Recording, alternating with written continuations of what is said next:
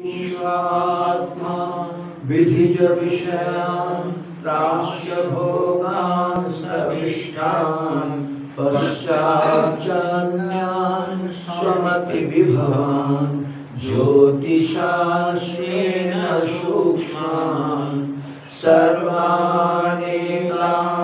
पुनरविषयै स्वात्मनि स्थापयित्वा हित्वा सर्वान् विशेषान् विगतगुणगणः पात्वसौ नस्तुरीय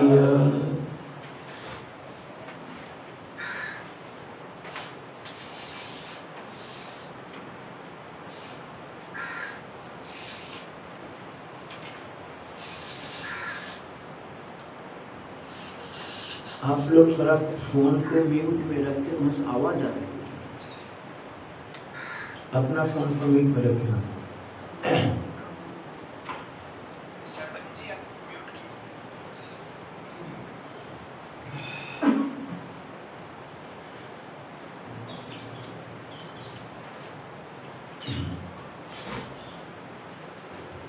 अथर्ववेदियों मांडव उपनिषद के आगम प्रकरण, जो प्रथम प्रकरण है, उसके ऊपर विचार करते हुए हम लोग ऊपर उपदखात भाष्य पार कर मुख्य रूप से ग्रंथ की प्रकरण शैली ऐसा होगा कि अभिधान और अभिधेय अभिन्न होते हैं तो एक का निषेध कर देने पर ही तो दूसरे का भी निषेध हो जाता है। यानी कि या तो नाम या तो रूप, दोनों में से कोई एक निषेध कर देंगे, नाम और रूप जुड़ा हुआ है। रूप नहीं है, यानी कि नाम भी नहीं है। इस प्रकार से एक का निषेध करके दोनों का ही निषेध हो जाता है फल तो अधिष्ठान रूपी आत्मा का ज्ञान हो जाता है। सामान्य संक्षेप में ये इसका प्रक्रिया है। भगवान भाष्य का शुरू में जो है, इसके माध्यम से अभी अनुबंध चतुष्टय को भी दिखाया और ग्रंथ के चार प्रकरण में क्या क्या विषय का प्रतिपादन करेंगे, ये भी दिखाया। ठीक है ना, अब जो है, यहाँ पे इस मंत्र को शुरू करने से पहले कि यहाँ पे कैसे प्रतिपादन करें, कौन सा पेज में हुआ था? ठीक। यहाँ पे ये दिखाना चाहते हैं कि ये सारा अभिधान और अभिध अभिन्न है। मतलब जितना शब्द हम उच्चारण करते हैं वो शब्द का आश्रय वाणी है और वाणी का आश्रय ओंकार है। ठीक है अब कैसे एक दो प्रकार से समझ सकते हैं हम? क्योंकि ओंकार मतलब परमात्मा। परमात्मा यदि अंदर अंतर्जामी रूप में नहीं होते।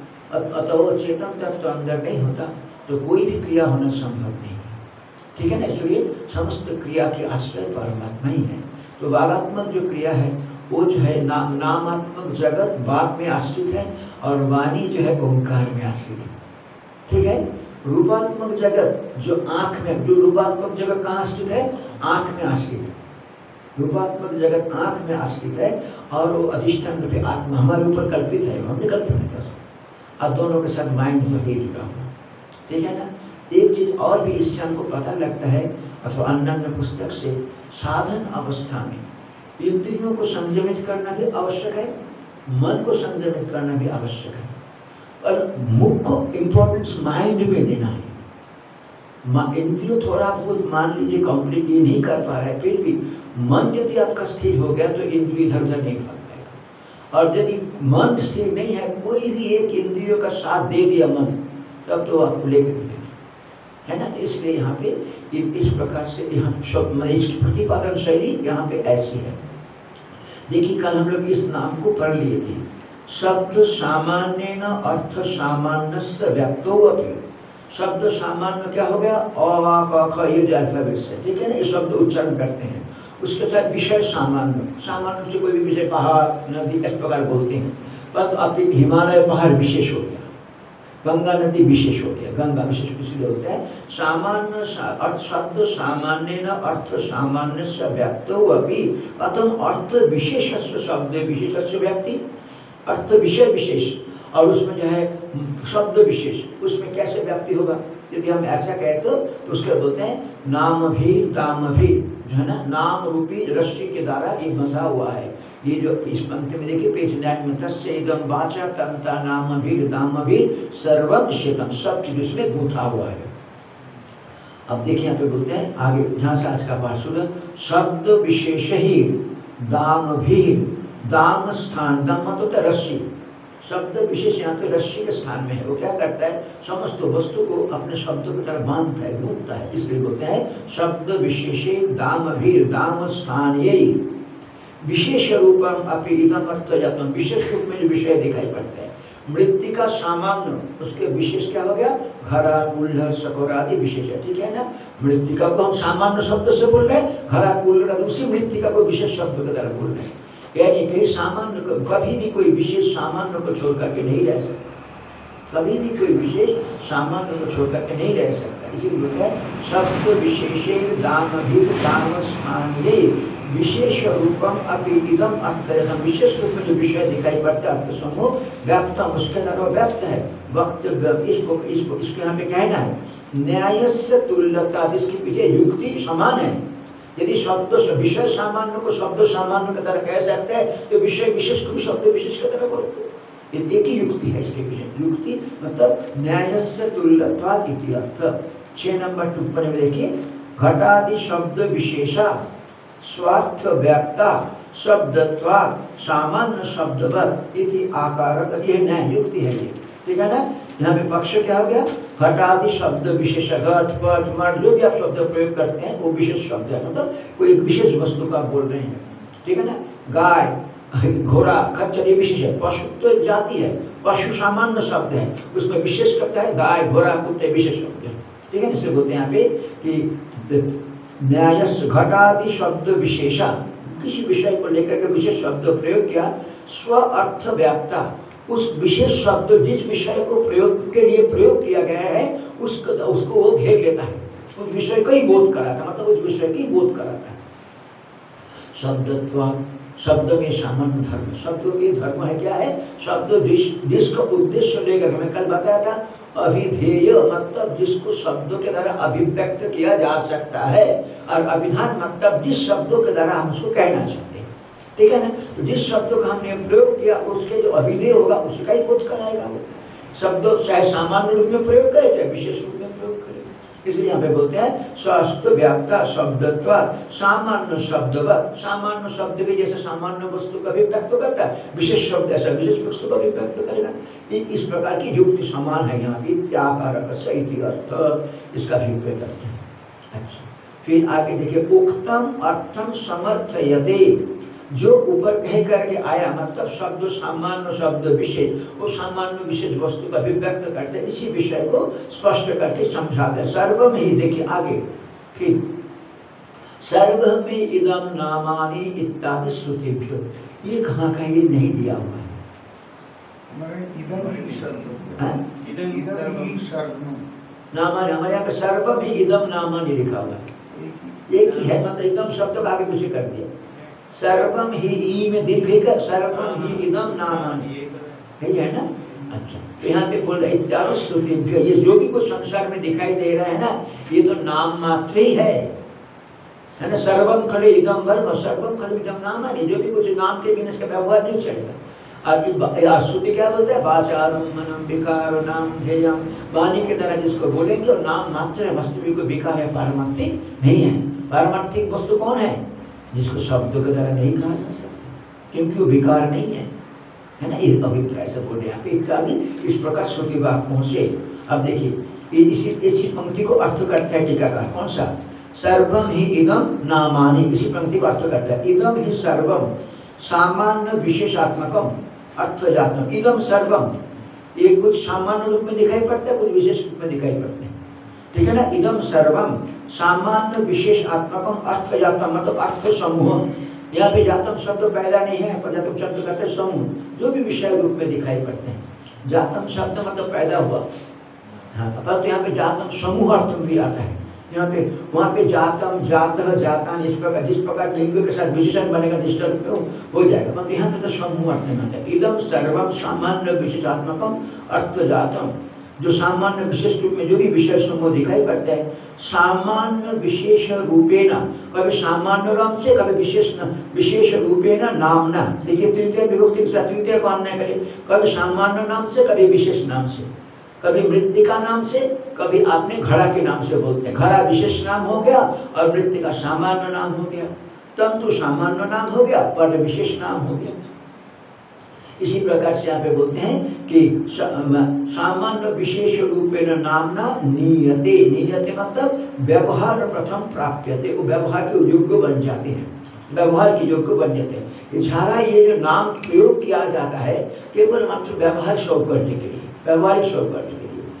तेन और नामानी इति उच्चते इसलिए ये सब नाम मात्र है, ऐसा कहा जाता है। ठीक है? तदेव ये जो नाम है ना ये नाम किसका आश्रय में ये आपने उक्त ब्राह्मण पढ़ा उपनिषद में?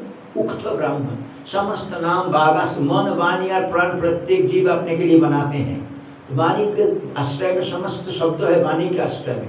समस्त व्यापार, संकल्प, मन के आश्रय में। समस्त क्रिया, प्राण की आश्रय उक्त ब्राह्मण नाम है सब केवल सत्य सत्यम प्राणा एवं सत्यम देशा में से सत्यम करके वहाँ पे मुख्य आत्मा को दिखाते हैं। यहाँ भी ऐसे है। तदेव तदेव बाप अनुरक्त बुद्धि बुद्धत्वा बाम मात्र। देखिए, आप जब कभी भी कुछ शब्द प्रयोग करेंगे, उसके साथ आपका बुद्धि की व्यापार भी होगा।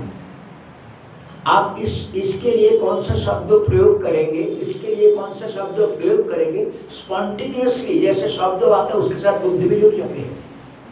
अपने आप ही चित्त भूमि में जैसे ही संबंधित वृत्ति है हाँ ये पेनी है तो हमें पेनी बोलना है। क्योंकि मन फ़ंक्शन ना करे तो माइंड कोई इंद्रिय काम नहीं कर पाएगा। यदि उस समय मन साथ ना दे, व्यक्ति आगे क्या है? देखा था, जैसे भूल गया, कोई फ़ोटो है आपके पास, चेहरा पहचाना हुआ लग रहा है, याद नहीं कर पा रहे। वहाँ कौन क्या व्यापार कर रहा है? वहाँ पे आपका माइंड व्यापार कर रहा है, बुद्धि व्यापार कर रहा है, चित्त संस्कार। यहाँ भी इंस्टेंट हो रहा है।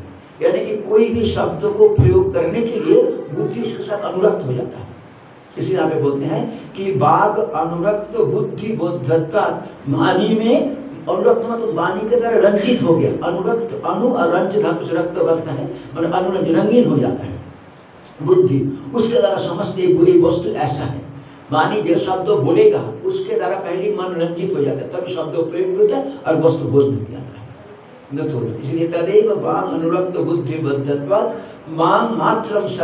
संपूर्ण जातम। वो ये देखिए संपूर्ण जगत का वाणी मात्र है। मतलब है? वाणी से उत्पन्न होता है। वाम इस वस्तु जो है होता है? इसलिए जो है, यहाँ पे बाग जाता भाग जाता सर्व, आप ये वाणी किसके है? कल पहले था संपूर्ण वाणी मतलब अक्षरों के ऊपर निर्भरित है और अक्षर समूह है ओंकार। यानी सारा नाम किसके आश्रय में आ गया? ओंकार के आश्रय में आ गया। जिस प्रकार यहाँ पे जितना भी कोई वस्तु दिखाई दे रहा है, कोई प्लास्टिक का है, कोई लकड़ी का है, कोई सीमेंट का है, कोई बजरी है, ये सब अलग अलग उपादान होते हुए भी ये सब एक क्या है? प्रकृति है पृथ्वी। समझ में आ रहे आपको? कि कार्य को देख कर आप उसका कारण में आ जाइए। चाहे प्लास्टिक हो, चाहे लकड़ी हो, चाहे सीमेंट हो, चाहे बजरी हो, सब पृथ्वी का विकार है। इसी प्रकार नाम सामान्य हो, नाम विशेष हो किसका विकार है? ओंकार का सिद्ध। ओंकार का इसलिए आप बोलते हैं। यहाँ पे बात होता सर्वम ओंकार अनुविधत्व आदि सारा चीज़ ओंकार के द्वारा अनुविधित मतलब उस ईश्वर अथवा उस चेतन के द्वारा विद्ध मतलब उसके साथ जुड़ा हुआ होने के कारण अनुविधता ओंकार मात्रम। अब खुद देखिए, वाणी है, बुद्धि है। परंतु ओंकार किसका प्रतीक है ईश्वर। तो चेतन का प्रतीक है पर तो यदि वो नहीं होता अंदर तो क्या कोई वाणी पूर्ण सकते थे ना बुद्धि काम कर सकते? यानी वो चेतन अधिष्ठित है सारा चेतन क्या स्तर वेरी सिंपल आप आस, आसानी से समझ सकते हैं। कार्य कारण भाव का यही अभिप्राय रहता है। आपको ले जाएगा सारा कार्य प्रकृति को लय करते हुए मूल कारण में ले जाएगा। फिर वो किसी का कार्य नहीं है बस वही मालूम सकता है। इसलिए हम बोलते हैं सर्व ओंकार अनुविधता ओंकार मात्र सात नंबर टिप्पणी देखिए ओंकार अनुविधता तब उसके साथ एक होकर का अभिव्यक्त होता है। उसके साथ एक होकर का अभिव्यक्त होता है। इस प्रकार देखिए, ये वस्तु है। यहाँ पे चेतन है कि नहीं? यहाँ पे चेतन है कि नहीं? अच्छा जिस शब्द जो देख रहे हैं, वहाँ भी बैठा हुआ है। जो बोल रहे हैं, वहाँ भी बैठा हुआ ये देखना और बोलना दो अलग इंद्रिय होने पर जो पीछे कनेक्ट करने वाला जो बुद्धि है, वो भी चेतन से अनुविध है। ठीक है ना? इसलिए सब एक ही चेतन में अनुविध और उसका अस्तित्व है। इसलिए हमें बोलते हैं, सच ओंकार यहाँ पे सभी टिप्पणी में ओंकार अनुविधता मतलब तादात्म आपन्न तो चेतन के साथ तादात्म होगा कि अभिव्यक्त तो सत्ता ही नहीं प्राप्त करेगा। उसके साथ एक होते अभिव्यक्त यहाँ तो हम चेतन नहीं बोलते ओंकार लेकर के बोल रहे हैं, क्योंकि उनका लक्ष्य तो हमारा ब्रह्म ही। है उनका सुलक्षित ब्रह्म है अब आ जाइए फिर। सच ओंकार लक्षणादीना आत्मधीर हेतु इति आद्य प्रकरणम आरंभ संभवती। वो जो ओंकार है ना, वो ओंकार अपने लक्षण के द्वारा ब्रह्म को बोध कराएगा। ओंकार के द्वारा लक्षित होगा कौन? निर्भव निराकार निर्विशेष। लक्षण क्या होता है? किसी वस्तु को समझाने के लिए हम जो शब्द प्रयोग करते हैं, और वो शब्द ऐसा होना चाहिए, केवल मात्र उस वस्तु का ही बोध करा। यदि हम कहते हैं, आप गाय को कैसे समझाएँगे हमको? किसी एक व्यक्ति को आपको समझाना है, गाय क्या वस्तु है? तो क्या बोलेंगे आप? अब यदि कहते हैं, चार पाए विशिष्ट जंतु तो सारे चार पाए जीव में चला जाएगा तो केवल गाय का बोध नहीं होगा। ठीक आपने बोला, नहीं नहीं, चार पाए भी है और सिंह पूछ भी है। तो सिंह पूछ रहित वाला जीव तो अलग हो गया परंतु सिंह पूछ वाला तो भैंस भी है। तो कुत्ता, घोड़ा, खच्चर, ये तो अलग हो गया। पर अब क्या, कैसे क्या करना पड़ेगा? तब आपको बोलना पड़ेगा गोकम्बल विशिष्ट। ये और किसी का लक्ष्य कहीं भी नहीं जाएगा। काय में केवल मात्र गोकम्बल होता है। गले में जो गले गल कम्बल तो इस प्रकार लक्षण वो होता है जो केवल एक विशेष वस्तु को समझाने के लिए वो शब्द हम प्रयोग करते हैं। यहाँ पे बोलते हैं, सच ओंकार, इस प्रकार से ओंकार है। लक्षणा देना लक्षण। लक्ष्य का वास्तविक क्या है? शक संबंध लक्षण। शक्ति वृत्ति से जो शब्द का बोध होता है, उसके साथ संबंध रख कर ही लक्षण शब्द प्रयोग होता है। है ना? लक्षण प्रयोग होता है। परंतु आत्मा तो किसी के साथ संबंध नहीं रखता। आत्मा तो किसी के संबंध रहित तत्व है। जैसे गंगायाम घोष बोलने पर गंगा के साथ संबंध रखने वाला तीर होता है तो हम तीर में लक्षण कर लेते हैं। परंतु तो आत्मा तो संबंध रहित है। तो बोलते आत्मा पारमार्थिक संबंध रहित होने पर भी आध्यात्मिक तादात्म संबंध के द्वारा सबके साथ संबंधित है। वही तो सबका अधिष्ठान है। यद्यपि रज्जु के साथ जो ऊपर दिखाई दे रहा है सर्वज्ञ के साथ रज्जु का कोई संबंध नहीं है। और उस समय, जिस समय हम देख रहे हैं, आध्यात्मिक तादात्म संबंध। ठीक है ना? इसलिए पे बोलते हैं लक्षणादीना आत्मधीर हेतु ओंकार लक्षणावृत्ति से आत्मबुद्धि के लिए हेतु बन जाता है। आत्मधीर प्रत्येक शब्द को ध्यान दीजिए। अपने आप समझ सच ओंकार वो ओंकार लक्षणादीना लक्षणा करने के बाद आपको जो है वो जो है हम, हमारे यहाँ तो भाग त्याग लक्षणा होता है। भाग त्याग लक्षण का प्रत्यभिक क्या होता है? भाग त्याग मत क्या होगा? कि आदि की बोल वहाँ पे कुछ भाग की त्याग कुछ भाग की ग्रहण। फिर विचार करके वो प्रत्यभिज्ञा उत्पन्न होती है। आदि ना आत्मधीन हेतु, आत्मबोध के लिए हेतु बन जाता है। आत्मबोध के बन जाता है। इसलिए आद्य प्रकरण आरंभ संभव इसलिए पहला प्रकरण क्या होता है? आगम प्रकरण। ओंकार के माध्यम से ब्रह्म तत्व का बोध करना अभिप्राय है। ठीक है ना? इसलिए ऐसा होना संभव है। अब देखिए आठ नंबर टिप्पणी में। ठीक है ना? अब देखिए लक्षण आदिना यहाँ पे क्या बोलता है? लक्षण आदिना इति आदिना। एक तो सामान्य लक्षण है। ये पूर्वक तो उपासना लय चिंतने गृहेते उपासनश्च लय चिंतनम च उपासना लय चिंतने द्विवचन है न्यूट्रल जन्म से गृहेते ये दोनों को ध्यान। सामान्य लक्षणा व्यक्ति तो, तो अर्थ लगा पाएगा बुद्धिमान व्यक्ति। भाग तक लक्षणा कर पाएगा प्रत्यभिज्ञा करने के लिए विचारशील होना चाहिए। यदि नहीं कर पाएगा कोई बात नहीं। उपासना ओंकार अवलंब में ब्रह्म चिंतन करना। यदि उससे थोड़ा अच्छा होगा, फिर उस ब्रह्म चिंतन के माध्यम से जगत को धीरे धीरे लय करते जाएगा, लय प्रक्रिया देखा था जागृत स्वप्न सुषुप्त से लय करते तुरियो में अवस्थान ये दोनों यहाँ पे लक्ष्य आदि पद के द्वारा उसका ग्रहण होगा। टिप्पणी का क्या बोलता है? लक्षण आदिना इति आदिना यहाँ पे आदि पद के द्वारा क्या लेने? पूर्वक तो जो पहले ओंकार के समझाते समय बोला था ना, कि ओंकार भी ब्रह्म है।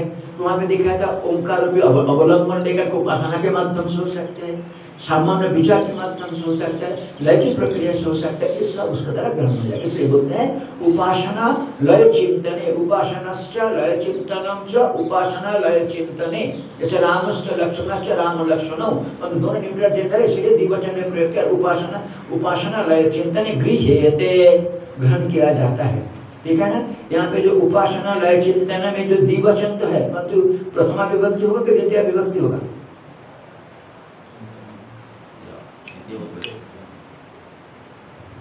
प्रथम एक द्विवचन है कि द्वितीय द्विवचन है?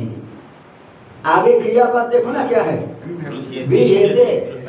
आत्मनि आत्मनिपद ये कर पैसिव है। तो ये क्या जो नॉमिनेटिव होगा नॉमिनेटिव होगा। हाँ। ये हो गया लक्षण इत्यादि न। लक्षण इत्यादि न आत्मधीर हेतु इति आप इसलिए आद्य प्रकरण आरंभ संभव पहला प्रकरण, आगम प्रकरण के सूर्य कौन है युक्त संगत संभव जाता है अर्थ। और ये भी कहा गया शास्त्र में, तद यथा संकुना इति स्तुति संग्रातम आदि पदम वहाँ पे भगवान भाष्यकर वहाँ पे देखिए लास्ट में लिखा था कि सर्वम ही इदम नामानि इत्यादि श्रुतिभ्य ये सब नामात्मक ही। है ये इसमें आदि से क्या कर तद्यथा संकुना सर्वाणी पर्णानि संतीर्णानि एवं ओंकारेण सर्ववाग व्याप्ति छंद को है ये। तो यहाँ पे बोलते हैं कि इस, इसको यहाँ पे ग्रहण करना पड़ेगा तो बोलते हैं तद यथा संकुना इत्यादि श्रुति संग्रहतम आदिपदम। प्रतिज्ञा तो प्रथम प्रकरण अर्थ सिद्धि विशेष। है इसलिए प्रतिज्ञा किया जो प्रथम प्रकरण, आगम प्रकरण, उसके विषय मतलब ओंकार के माध्यम से ब्रह्म लक्ष्य ब्रह्म को दिखाना, ये प्रतिज्ञा भाव सिद्ध हो जाता है। प्रतिज्ञा तो प्रथम प्रकरण अर्थ, उसका विषय सिद्ध हो जाता है अभिप्राय है। शेष, ये वहाँ पे आगे जोड़ना पड़ेगा।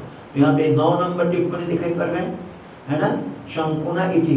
यथा शंकुना सर्वाणी पर्णानि संतीर्णानि श्रुति शेष इसका आगे इतना मतलब केवल वहाँ तक दिया है, यथा शंकुना उसका आगे क्या है? जिस प्रकार आप देखिए, ये जो पीपल का पत्ता नहीं होते हैं, उसको थोड़ा भिगो दीजिए, फिर उसको उसको सुखाइए। जब सूख जाने के बाद ऐसे हाथ से मारिए, ऊपर का पत्ता जो हार्ड पोर्शन है, वो गिर जाता है। फिर आपको क्या दिखाई देगा? पूरा के पूरा पत्ता जो जाली से भरा हुआ है। मतलब जिस प्रकार उस जाल के तरह पत्ता टिका हुआ, इसी प्रकार हमारे शरीर में बहत्तर करोड़ बहत्तर लाख बीस हज़ार दस हज़ार दो सौ एक जो नाड़ियों के तरह शरीर टिका हुआ खड़ा है। प्रश्न प्रश्न में दिखाया। पिन करके कैलकुलेशन करके दिखाया नंदी जी ने। तो इसी प्रकार से, जिस प्रकार एक पत्ते के अंदर, वो तो वो अशिरा है ना, वो पूरा पत्ता टिका रहता है, इसी प्रकार से सारा सृष्टि ओंकार के ऊपर उठा हुआ है। ओंकार के ऊपर उठा इसलिए बोलते हैं नाम, नामात्मक सृष्टि। इसलिए बोलते यथा संपूर्ण से बोलते हैं सर्वाणी, वर्णानी, समस्त पत्ते संकीर्णानी गुथा हुआ होता है। फैला हुआ श्रुति शेष। तद्वत उसी प्रकार से ओंकारेण इति इस प्रकार ओंकार के द्वारा सारा वाणी उठा हुआ है ऐसे आप अनुसंधान कर लेना चाहिए। ये को है ये। द्वितीय अध्याय में यहाँ पे हमको लगता है तेईसवा खंड में आया हुआ है। तो हंड्रेड परसेंट है उसमें कोई द्वितीय अध्याय तेईसवा खंड में जो वहाँ पे से उनका उपासना आया, उसमें लिखा हुआ है। इस प्रकार से उपदघात भाष्य संपूर्ण हो जाता है। ठीक है ना उद्घात वर्ष यहाँ तक पूरा हो जाता है। अब जो है मूल को पढ़ना पड़ेगा। ठीक है ना? मूल पढ़ने के लिए देखो लिख रहा है अत आह। है ना? इसलिए ऐसा कहा जाता है। है ना? कहा मतलब आह कौन सा धातु का रूप है ये? आपने ब्लू ब्लू धातु का। ब्लू धातु का मतलब एक ऊपर से आया हुआ है, कोई धातु रूप से सिद्ध नहीं होता। आह, आहतु, आहु आथ आहतु, ये पाँच रूप है, उसका विपरीत नहीं। आह, आहतु, आहु मतलब आह हो गया थर्ड पर्सन सिंगुलर नंबर आहु हो गया थर्ड पर्सन प्लूरल आथ का सेकंड पर्सन सिंगुलर नंबर और बाकी दोनों डूबे हैं। तो यहाँ पे ये ब्रू धातु का रूप है अनकॉमन रूप। मतलब ऐसे ऊपर से प्रयोग हुआ है यहाँ पे। कई बार आपका आह अथवा आहु ऐसा आधारित भाषा में कई बार। अत आह।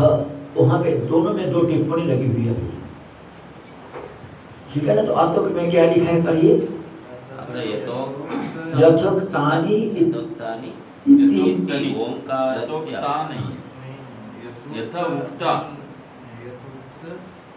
यथोक्त नित्य नित्य कैसे हो जाएगा? नित्योंकार है।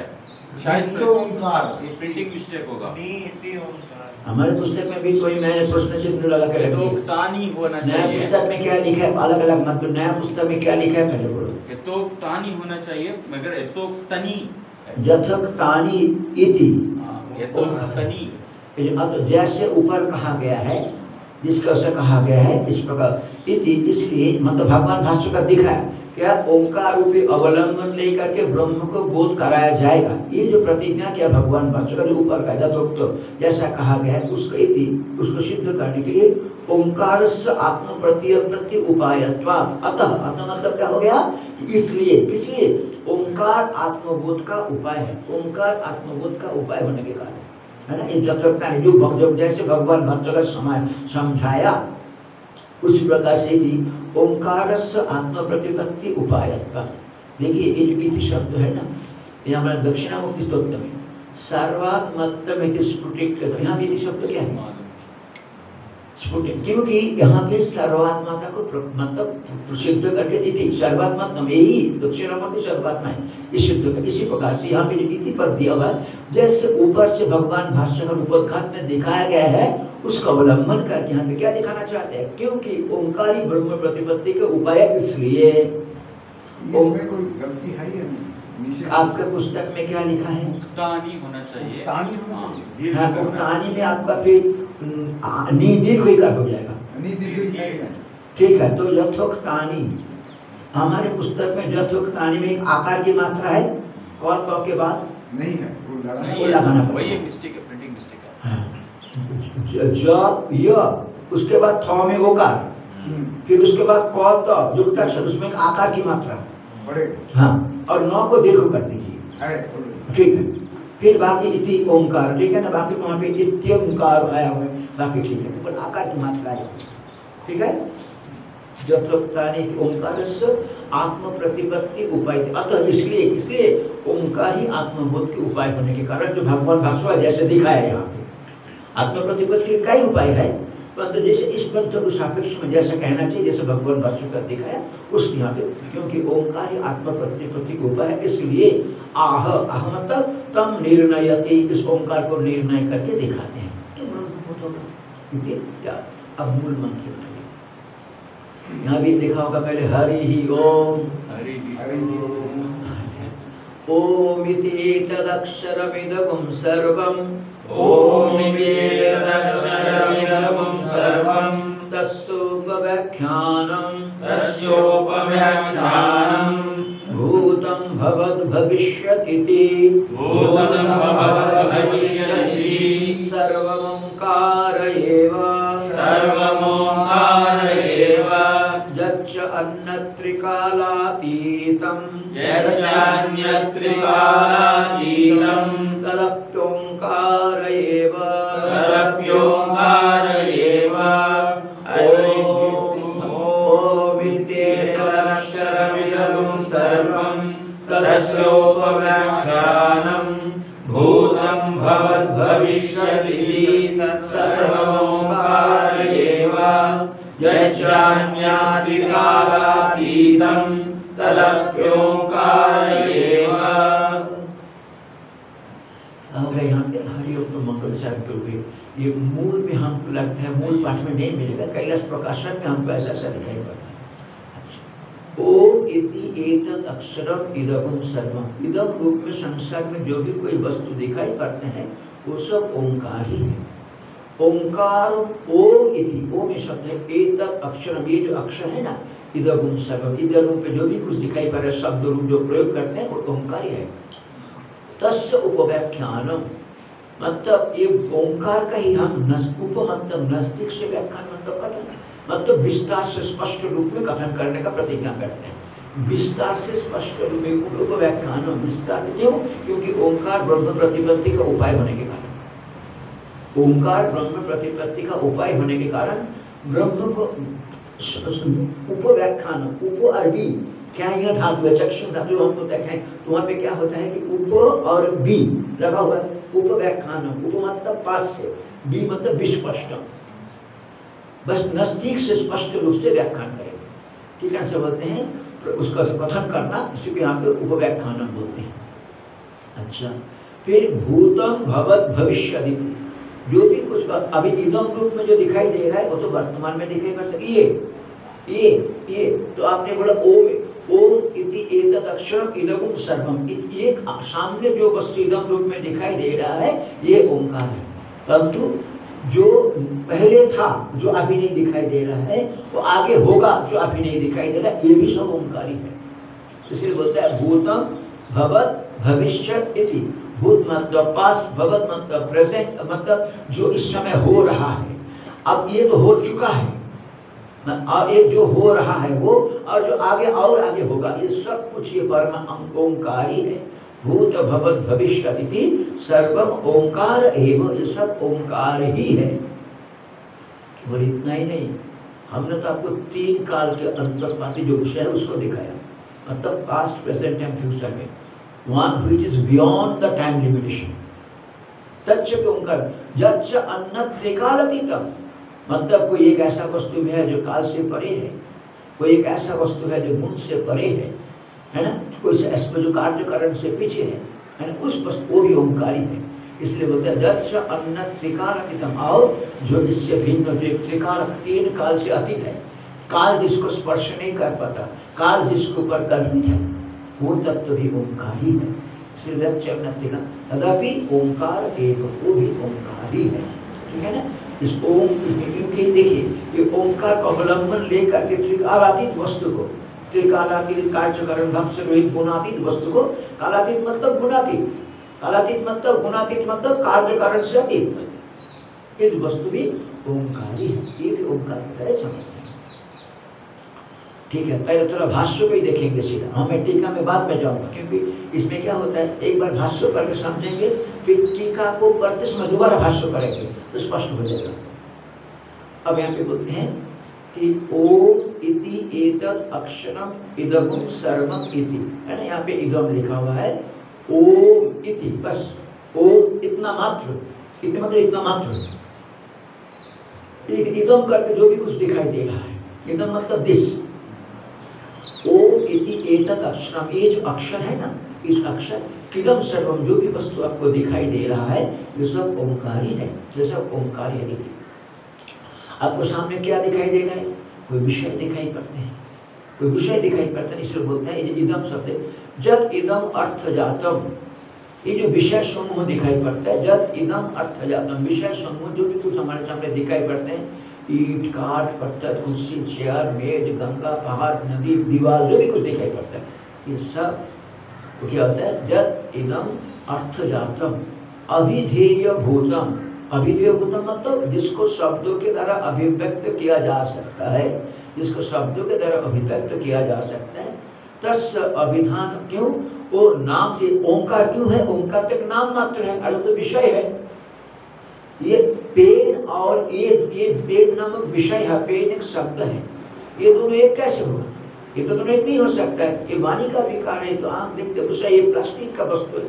ये कैसे एक साथ तो बोलते हैं कि, कि इसके बिना इसका कोई व्यवहार नहीं चल सकता। इसलिए हमें बोलते हैं कि तस्य अभिधान अव्यतिरेका अभिधान मतलब नाम नाम से इसका भिन्न स्थिति नहीं है। नाम मात्र से उसका सत्ता सिद्ध होता है, फिर क्या होता है? उसकी व्यवहार भी होता है। इसलिए जब इदम अर्थ जातम अभिधेय भूतम जो शब्दों के द्वारा अभिव्यक्त करने जो वस्तु है ना तस् अभिधानम। अब क्योंकि वो नाम को छोड़ करके भिन्न नहीं हो सकता, इसलिए वो ओंकार रूप है। ओंकार समस्त नाम का आश्रय भूमि है, इसलिए वो ओंकार रूप है। अब देखिए यहाँ पे बोल रहे हैं अभिधान च ओंकार अव्यतिरेका ओंकार एव इदम सर्वम। जो पहले क्या है अभिधेय, अभिधान और ओंकार। ठीक है? अभिधेय एक शब्द प्रयोग अभिधान, इसका नाम है, और ओंकार। अब क्या दिखा? अभिधान और अभिधेय अभिन्न है।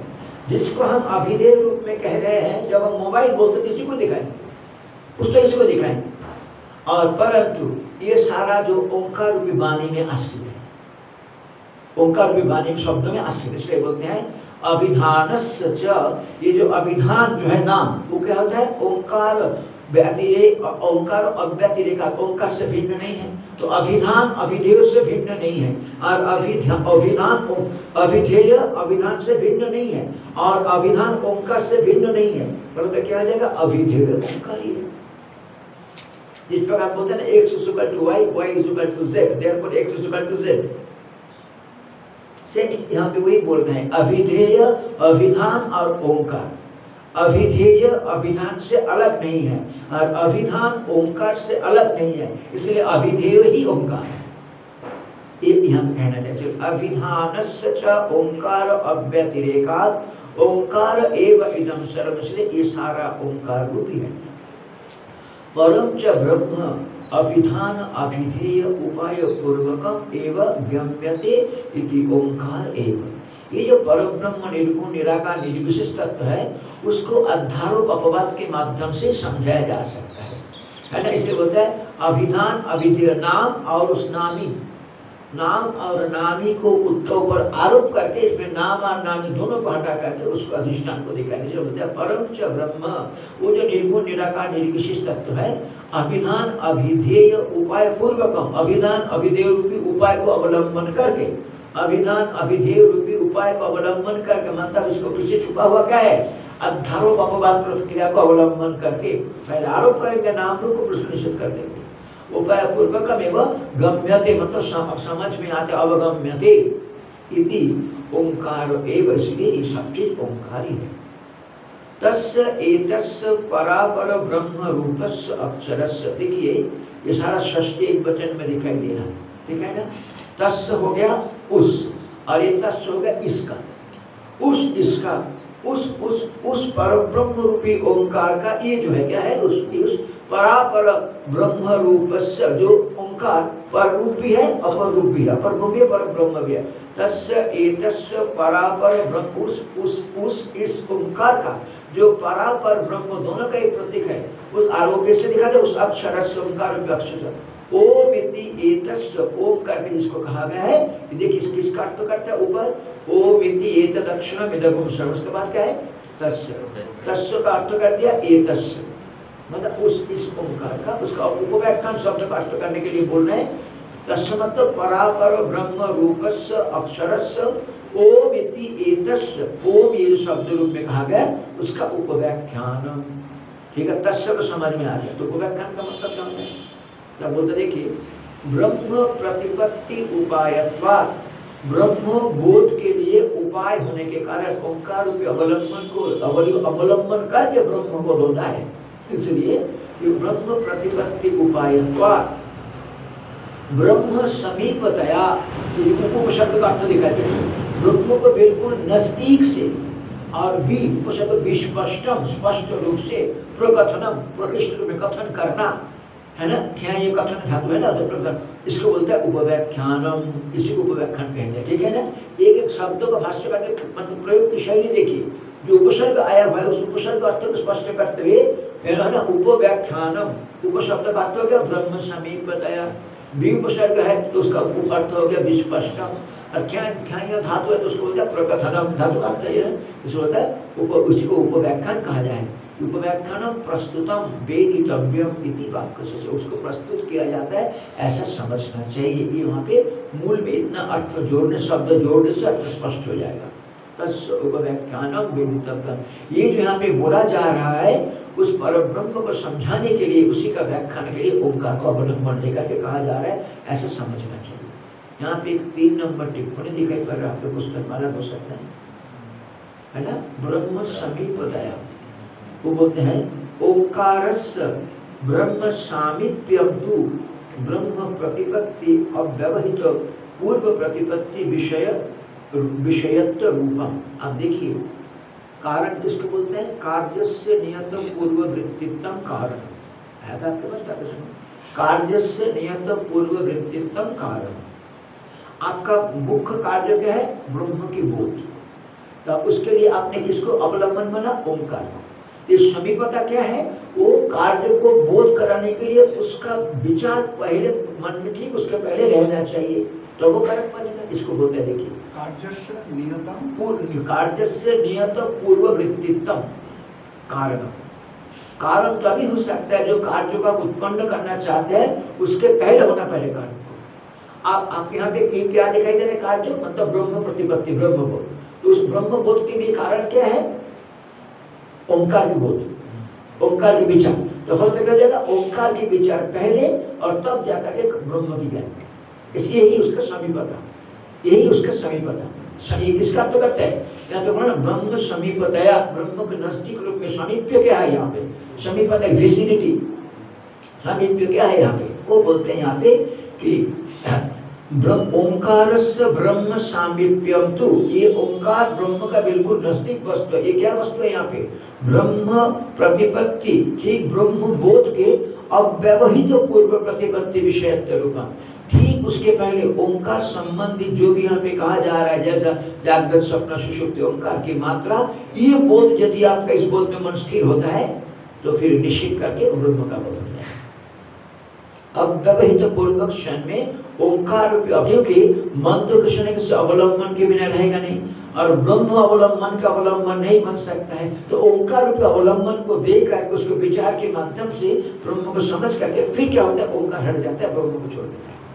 इसी यहाँ पे बोलते हैं कि ओंकार ब्रह्म सामिप्य ब्रह्म प्रतिपत्ति अव्यवहित पूर्व प्रतिपत्ति विषय ठीक उसके पहले ओंकार संबंधित तीन मात्रा जीव की ओंकार की मात्रा जीव की अवस्था इन ठीक ठीक ठीक ठीक यदि इसको बोध होगा, फिर उसको निषेध कर पाएँगे तो अधिष्ठान ब्रह्म का बोध हो जाएगा।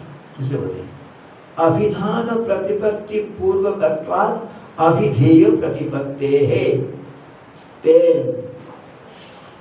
वेद मतलब? अभिधान। अभिधान। अब जब वेद उच्चारण करेंगे तब ना आप अभिधेय को देखेंगे। ठीक है ना? तो ओंकार हो गया अभिधान और ब्रह्म हो गया अभिधेय। है ना? जिस प्रकार पेड़ हो गया अभिधान और अभिधेय हो गया ये विषय ये। इसी प्रकार ओंकार हो गया अभिधान। और ब्रह्म हो गया अभिधेय। तो अभिधान उच्चारण करते आपको बोध होगा पेड़ उच्चारण करते विलंब अब पेड़ नहीं भी रहेगा।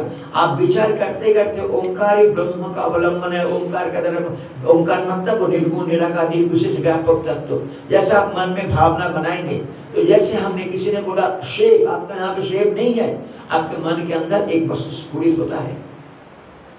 फल स्फुरित होता है, उसको से ठीक इसी प्रकार ओंकार की विचार करते करते हम पहले देखेंगे। तो ब्रह्म सम जैसे आप ओम उच्चारण करेंगे ना तो अंदर से व्यापक असंगता पूर्णता स्फुरन इसका उपाय बताया इसका समीप बताया उपशब्द करते करते ब्रह्म समीप बताया कि अभिधान प्रतिपत्ति पूर्वक अभिधान मतलब नाम, उस नाम की बोध यदि आपका ठीक से हो जाता है कम्बु विवादिमान एक वस्तु को दिखा करके कम्बु विवादिमान, पेट मोटा, गला वाला, एक वस्तु को दिखा करके जब कहा जाता है, ये घड़ा है।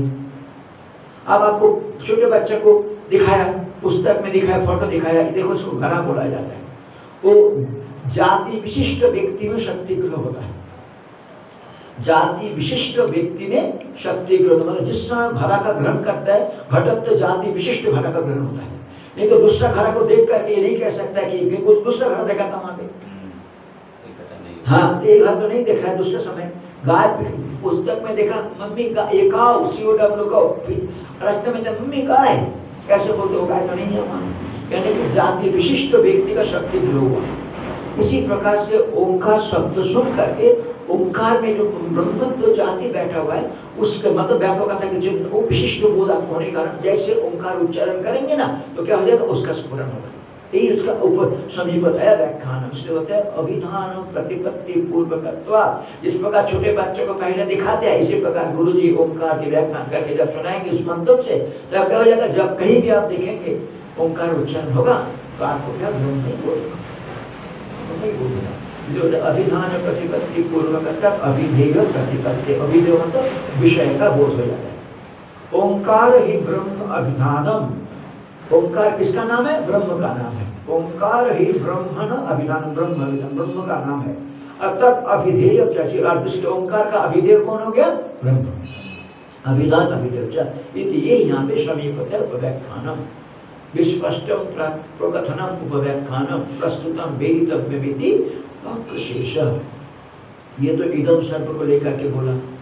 किंतु सभी वस्तु प्रेजेंट है, परंतु आपके सामने नहीं है। कुछ वस्तु पास्ट जो हमने नहीं देखा, कुछ प्रेजेंट जो हमारे सामने नहीं है और कुछ फ्यूचर जो आएगा, जो भी कुछ होगा, ये सब ओंकार ही है।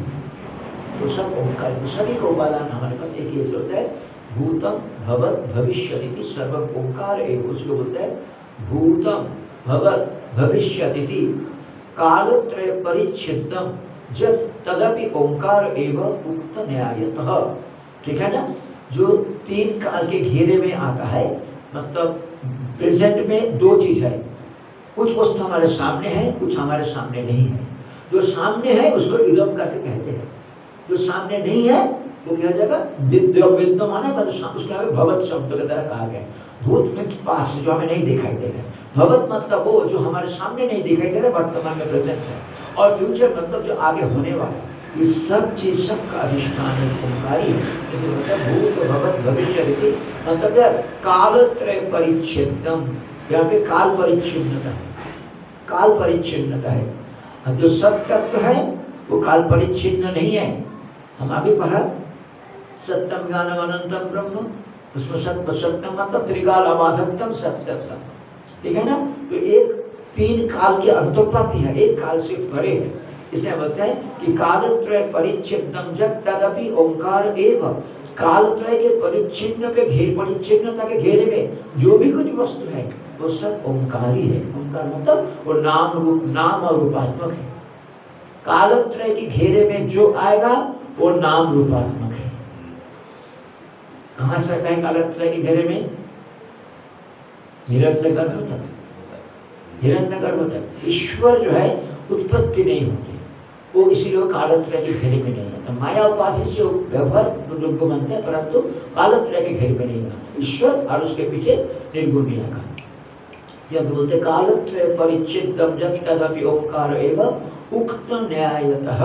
उक्त न्याय मतलब जो संसार में आज तक जो भी कोई वस्तु देखा, जो भी उस वस्तु का ज्ञान हुआ उसको उससे कोई प्रयोजन सिद्ध होता है।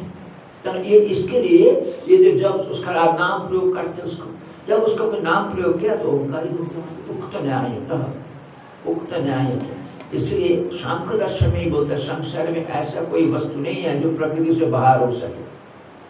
क्योंकि प्रकृति मतलब त्रिगुणात्मिका प्रकृति मतलब वस्तु का ज्ञान होगा, वस्तु से जो क्रिया होगा, कोई जानेगा वस्तु जड़ात्मक वस्तु जड़ात्मक होता ही है।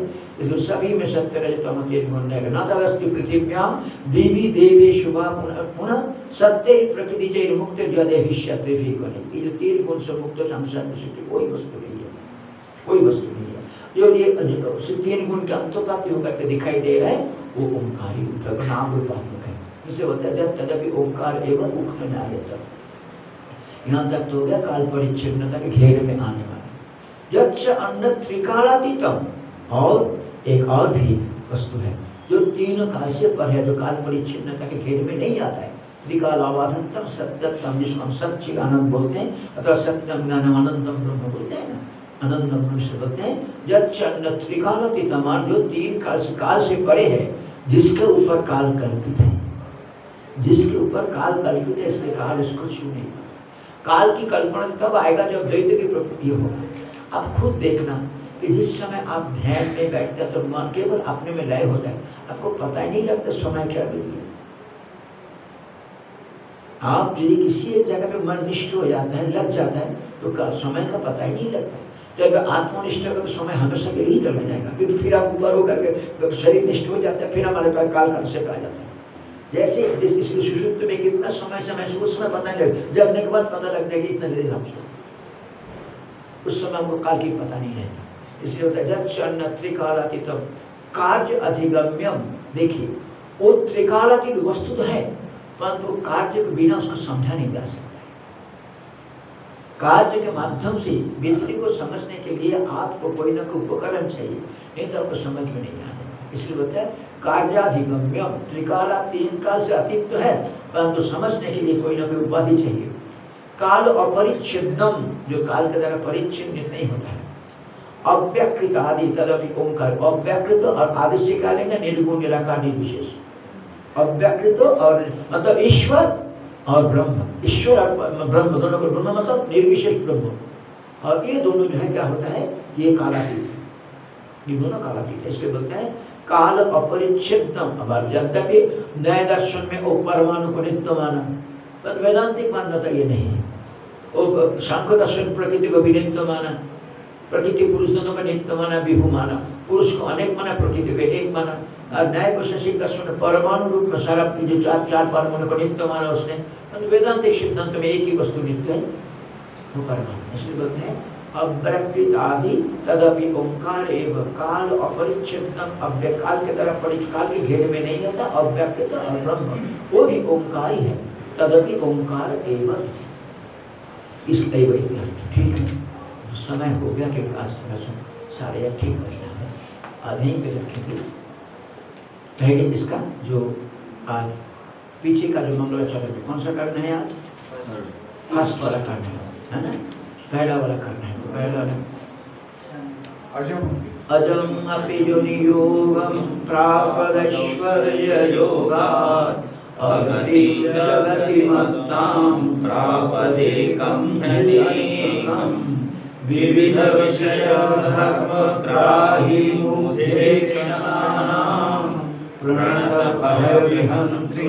ब्रह्म यत्तन्नतोऽस्मि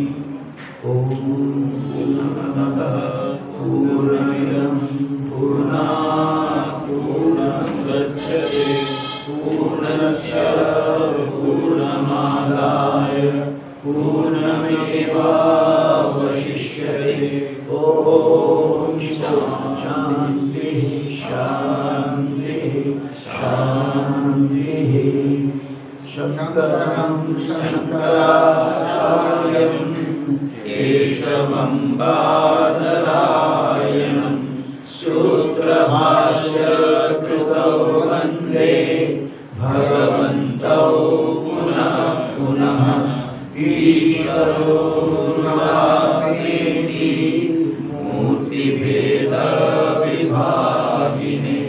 व्योमवद्व्याप्तदेहाय दक्षिणामूर्तये नमः। ॐ शान्ति शान्ति शान्ति। एक मिनट से पाठ हाँ काल ना कुछ दिन के लिए, इसलिए अशुभानि तनोति शुभसन्तति स्मृतिमात्रेण यत्पुंसां ब्रह्म तन्मङ्गलं वरम् अतिकल्याणरूपत्वात् नित्यकल्याणसंशया स्मृतिवीणां वरदात्वात् च ब्रह्म तन्मङ्गलं विदुः ओङ्कारश्च शब्दश्च प्राप्येतौ ब्रह्मणा पुरः कण्ठं विदित्वा विनिर्यातौ तस्मात् माङ्गलिकावुः तस्मात् माङ्गलिकावुः यैर्मे गुरुभिः पूर्वं परवाक्यप्रमाणतः व्याख्याता सर्ववेदान्त सान्निध्यं प्रणतोऽस्म्यहम् ॐ पार्वतीपतये। हर हर महादेव।